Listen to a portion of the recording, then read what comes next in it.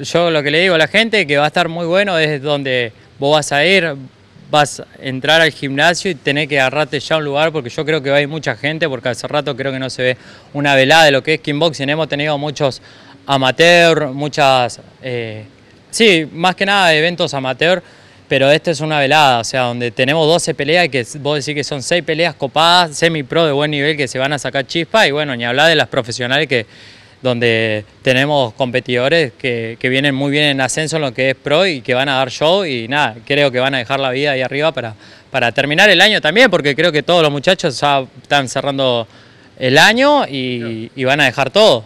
Como nosotros también, ¿no? Hernán lo veo muy afilado, sé que esa la pelea estelar va a ser la más esperada de la noche porque Hernán se lo ve muy entrenado.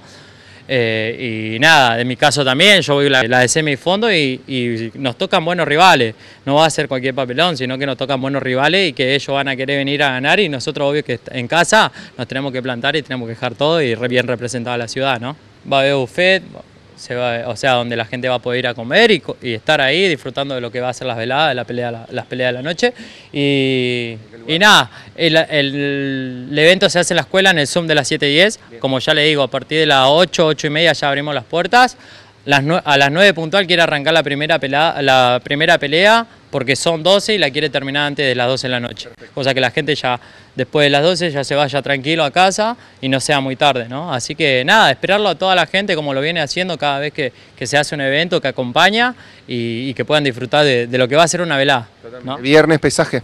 Viernes pesaje a las 6 de la tarde acá en la Fortaleza donde se van a presentar todos los muchachos, donde se hace el careo también cada uno con su, con su contrincante.